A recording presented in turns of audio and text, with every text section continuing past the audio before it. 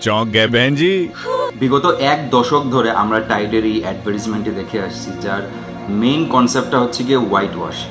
So আজকের এই ভিডিওতে আমরা হোয়াইট ওয়াশের সাথে সাথে কি করে মানুষের ব্রেন ওয়াশ করা হয় তা নিয়েও আলোচনা করব। তো গত বছর সঞ্জু নামে একটা সিনেমা এসেছিল যেটাকে বেসিক্যালি সঞ্জয় দত্তের বায়োপিক বলে চালিয়ে দেওয়া হয়। Good evening ladies and gentleman আজ মেরে লিয়ে বড়া খুশি কা দিন क्योंकि मेरी ऑटोबायोग्राफी मेरी आत्मकथा आप लोगों के सामने आ रही है ওটা অ্যাকচুয়ালি সঞ্জয় দত্তের বায়োপিক নয় সঞ্জয় দত্তের লাইফের কিছু ভোলা ভালা কিছু খুব সফট অংশ নিয়ে সেই সিনেমাটা তৈরি করা হয় যেটা বেসিক্যালি সঞ্জয় দত্তের যে ইমেজটা আছে ওইটাকে পুরো মানুষের সামনে একদম খুবই ভালো রকম একটা ইমেজ হিসাবে সঞ্জয় দত্তকে দেখানো হয় আর কি তো এই ব্যাপারটাকে বলা হয় হোয়াইট ওয়াশ কারোর ইমেজ হোয়াইট ওয়াশ করা आपके पास ए के फिफ्टी सिक्स थी नहीं सर बताता हूँ सर सब सब, सब बताता हूँ ছোটবেলায় বীর গাথা শুনতে আমাদের কার না ভালো লাগতো গল্প সিনেমায় আমরা যে নায়কদের ব্যাপারে শুনতাম বা জানতাম আমরা তাদের ফ্যান হয়ে উঠতাম আর সেই প্রধান চরিত্র বা নায়কের জীবন জীবনের ওনার যে স্ট্রাগলটা সেটা আমাদের প্রচন্ড রকমভাবে ইন্সপায়ার করে ইনি হচ্ছেন প্রতাপচন্দ্র সারঙ্গী যিনি উড়িষ্যার বালাসোর থেকে বিজেপি প্রার্থী হয়ে ভোটে লড়েন এবং জেতেন मैं प्रताप चंद्र सड़ंगी ईश्वर की शपथ लेता हूँ कि मैं विधि द्वारा स्थापित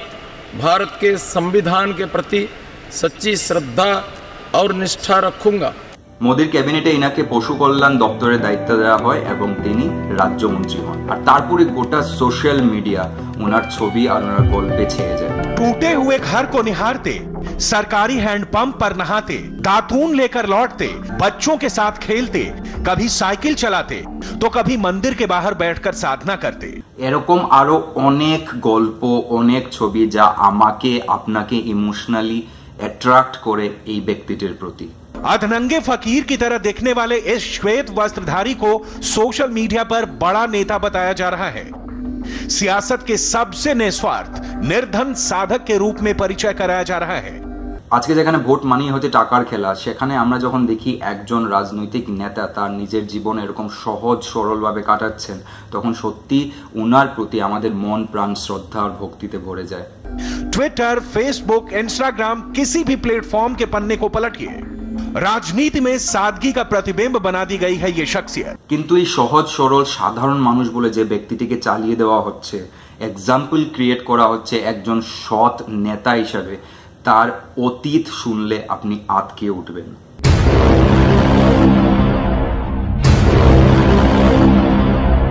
উনিশশো নিরানব্বই সালে সারাঙ্গি যখন উড়িষ্যার বজরং দলের চিফ তখন গ্রাহাম স্টেইনস নামে একজন অস্ট্রেলিয়ান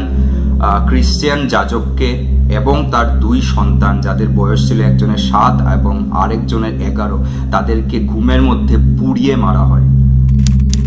22 जनवरी 1999 की काली रात रात को 50-60 लोगों ने अपना शैतानी रूप दिखा दिया सात साल का लड़का फिलिप और उसका नौ साल का भाई तिमोथी और उनके पिता ग्रहम स्टेन रात को अपनी जीप गाड़ी में सो रहे थे तभी त्रिशूल भाले लाठी से उन तीनों को रात के 12 बजे बड़ी बेरहमी से मारकर जिंदा जला दिया वो सभी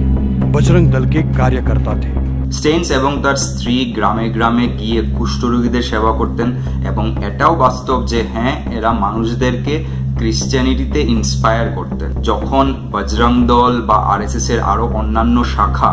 মানে তারা গ্রাউন্ড লেভেলে গ্রামে গ্রামে গিয়ে কাজ করছে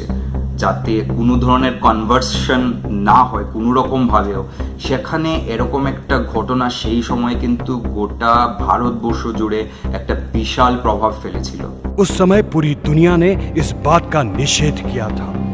कि सात साल के और नौ साल के लड़के को इतनी क्रूरता से मारा ये सोचते हुए भी दिल कांप उठता था অভিযোগের তীর সরাসরি যায় বজরং দলের দিকেই, কারণ অনেক অনেক বছর ধরে বজরং দলের সদস্যরা এই হিন্দু ধর্ম প্রতিস্থাপন বা এইসব ব্যাপারে তারা কাজ করে আসছিল। আর স্টেন্সের এরকম কোনো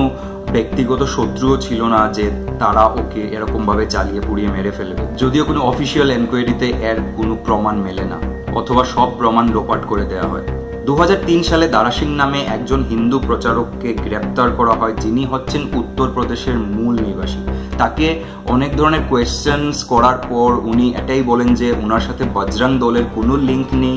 বা ওনার সাথে সারেঙ্গিরও কোনো লিঙ্ক নেই। তো এই জায়গায় উনার যাবজ্জীবন হয় বা আরও যারা এগারো জনকে ধরা হয়েছিল আসামি হিসাবে তাদেরকেও বেকুসুর খালাস করে দিতে হয় জাস্ট প্রমাণ অভাবে। কিন্তু আপনি যদি লজিক্যালি ভাবেন, আপনি খুব সহজভাবেই বলতে পারবেন যে মেইন আসামি কে। শুধু তাই নয়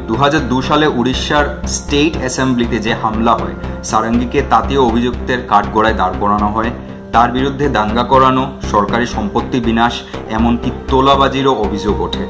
সারাঙ্গি এমপি হওয়ার পর থেকে উনাকে উড়িষ্যার মোদি বলে অভিহিত করা হচ্ছে। ভক্তেরা উনার এত বিশাল ফ্যান হয়ে যাচ্ছেন যে উনার ছবি লাগিয়ে সেই ছবিতে মালা পরিয়ে উনাকে মানে ভগবানের একটা দরজা দিয়ে দেওয়া হচ্ছে একটা আইডিয়াল নেতা কিরকম হবেন সেই এক্সাম্পল ক্রিয়েট করার জন্য আহ, সারাঙ্গীর নাম তোলা হচ্ছে कौन है ये आदमी जिसके बारे में दावा किया जा रहा है कि ये मौजूदा दौर की बजबजाती राजनीति में महानता की मीनार पर खड़े होकर नई परिभाषा गढ़ रहा है আর লোকেরা করবেই বা না কেন কারণ যেখানে দেখা যাচ্ছে যে লোকসভার দু হাজার উনিশের যে ভোটটা হলো তার যে এমপিরা ছিলেন মানে বা যে ক্যান্ডিডেটরা ছিলেন তাদের গড় সম্পত্তি টোটাল অ্যাসেটস আট কোটি টাকা সেখানে সারঙ্গীর টোটাল অ্যাসেট পনেরো লাখের কাছাকাছি दावा है कि इसने बिना पैसे चुनाव जीतकर संसद की चौखट पर दस्तक दी है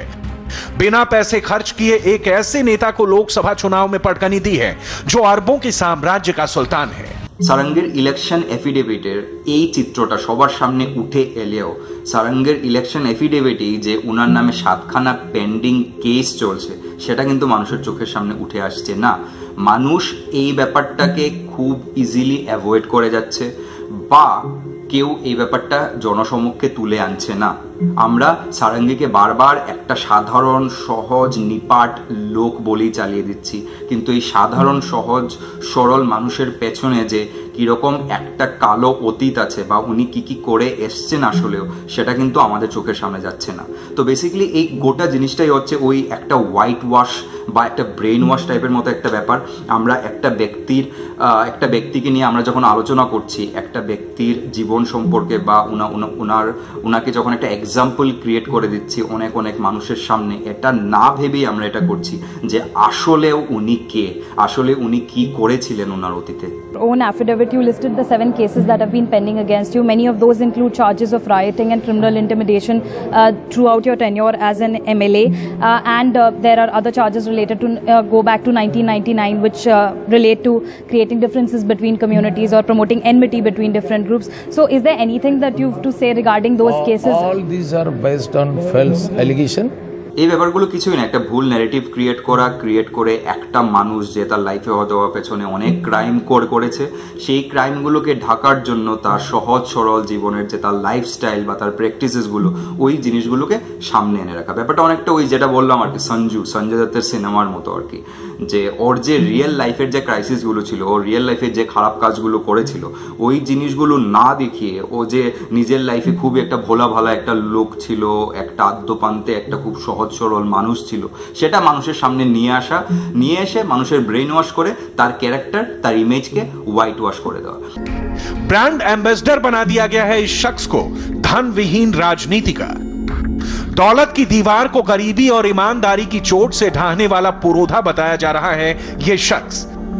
फेसबुक और ट्विटर पर इसकी तस्वीर टांगकर हर कोई इस आदमी की सरलता सादगी और ईमानदारी पर लेख लिख रहा है আসলে ঘটনাটা হচ্ছে আজকে আমাদের আহ, ভারতবর্ষ ডিজিটালাইজড হয়ে গেছে সবার কাছে ফোন আছে থ্রি জি ফোর জি আছে জিও ফ্রি আছে ইন্টারনেট ডেটা আছে তো আমরা এই জিনিসগুলো আইটি সেলসগুলো থেকে ও- এই এই ছবিগুলো পেয়ে যাচ্ছি কিন্তু ফ্যাক্ট ফাইন্ডিং যে বলে একটা ব্যাপার হয় এই সেই ফ্যাক্ট ফাইন্ডিং করতে গিয়ে আমরা যে কিছু নলেজ একোয়ার করতে পারি আসল যে ব্যাপারটা সেটা জানতে পারি এই জিনিসটা কেউ করছে না এই জিনিসটা করার জন্য যে প্রপার এডুকেশন দরকার যা বা যে প্রপার আমাদের চিন্তাধারা বা চেতনাটা দরকার সেই চিন্তাধারা মানুষের মধ্যে এখনো গ্রো করে উঠতে পারেনি और कहीं ना कहीं अगर हम इतिहास में जाएं तो जवाहरलाल नेहरू से लेकर नेहरू पीढ़ी से देखें तो मुस्लिम मुसलमानों से कहीं ना कहीं उनका नाता जुड़ा हुआ है कैसे जुड़ा है नाता अब इसमें तो बहुत बड़ी वो है आप गूगल में भी सर्च कर सकते हैं। मैंने भी पढ़ी जैसे मोतीलाल नेहरू। अगर उनका देखा जाए तो उनका नाम भी एक मुसलमान ही है।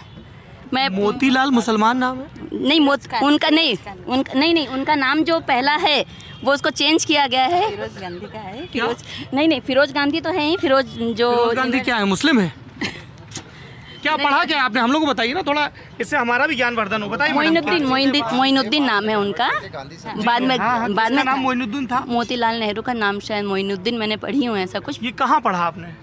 सर मैंने गूगल में सर्च करी थी एक बार मैंने ऐसे पढ़ी थी कुछ ऐसे पोस्ट आया था पढ़ी हूँ मुझे ऐसा कुछ ध्यान है शायद कि कुछ मैं यह नाम कुछ भ्रमित हो रही हूँ भूल रही हूँ बाकी कुछ ऐसा है सूचनाओं को पहले न्यूज की शक्ल में भेजा जाता है कई महीनों तक फैलाने के बाद उसी सूचना को चुटकुला बनाकर दोबारा भेजा जाता है ताकि आप बार बार देखते रहें और आपको याद रहे আর তার জন্যই সারঙ্গীর মতো নেতারা একদম খুব অল্প সময়ে সোশ্যাল সাইটসের দৌলতে এরা গ্রামে গ্রামে শহরতলিতে মানুষের ফোনের মধ্যে ছেয়ে যাচ্ছেন, মানুষ তাদেরকে মালা পরাচ্ছেন, ভগবান বানিয়ে দিচ্ছেন। গতকালকেই ওনার একটা কমেন্ট দেখলাম। দেখুন, ব্যাপারটা হচ্ছে আমি মানে একদমই হোয়াইট বা একদমই ডার্ক বলে কোনো ক্যারেক্টার অ্যানালিসিস করতে চাইছি না। পৃথিবীর প্রত্যেকটা মানুষ আমার মনে হয় একটা গ্রে ক্যারেক্টার হয়। প্রত্যেকের মধ্যেই ভালো খারাপ সব মিলিয়ে থাকে। কিন্তু সারঙ্গীর কেস বা আরও অনেক ক্ষেত্রে আমরা দেখেছি যে ভারতবর্ষ বা গোটা পৃথিবী জুড়েই এই প্র্যাকটিসগুলো হয়, যে খারাপ খারাপ মানুষগুলোকে অনেক সময় সোশ্যাল সাইটস বা মিডিয়া বা এই জিনিসগুলোর দ্বারা ওদের ইমেজকে হোয়াইট ওয়াশ করার জন্য, ওদের জাস্ট কিছু কিছু ভালো কাজগুলোকে সামনে, চোখের সামনে রেখে দেওয়া, যাতে আমরা ওদের অতীতটা ভুলে যাই বা কখনো ওদের অতীতটা নিয়ে আমরা না ঘাটি রাইট একটা এক্সাম্পল ক্রিয়েট করে দেওয়া হয় যে এই ব্যক্তিটি এরকম ছিলেন। এরকম করেই আমার মনে হয় ইতিহাসকে আমরা বদলে দিই। আসল যে সত্যিটা সেটা আমরা সামনে আনি না। Actually you never know it can be a devil behind the mask of a saint right তো এই ব্যাপারগুলো আমার মনে হয় ফ্যাক্ট ফাইন্ডিংয়ের ব্যাপারটা আরও বেশি বেশি হওয়া উচিত। আজকে মিডিয়া বলুন মানে মেইন স্ট্রিম যে মিডিয়ারা তারা যেরকমভাবে সারান্দিকে পেশ করছে আমাদের সামনে কটা লুকি বা ফ্যাক্ট ফাইন্ডিং ব্যাপারগুলো করে। আর এখানে অ্যাকচুয়ালি আর আলাদা কোনো রাস্তাও নেই। তার জন্যই আমি হয়তো এই ভিডিওগুলো বানাই বা আমার মতো আরও অনেকে বানান যারা একটু একটু করে ট্রাই করছেন এই ফ্যাক্ট ফাইন্ডিংয়ের জিনিসগুলোর মতো ব্যাপারগুলোগুলোকে সামনে আনার। আমি লিঙ্ক বক্সে একটা লিঙ্ক দিয়ে দেব স্টেইনসের যে হত্যাকাণ্ডটা হয়েছিল নাইনটিন নাইনটি নাইনে সেটার উপর একটা ডকুমেন্টারি ফিচার বানানো হয়েছিল তার লিঙ্কটা দিয়ে দেবো। আপনারা প্লিজ পারলে গিয়ে দেখুন, ব্যাপারটা জানার চেষ্টা করুন কি হয়েছিল, কি না। তারপর নিজের বিচার, নিজের বুদ্ধি দিয়ে সেই মানুষটাকে হিরো বানান যাকে আপনারা হিরো বানাচ্ছেন। That's it for today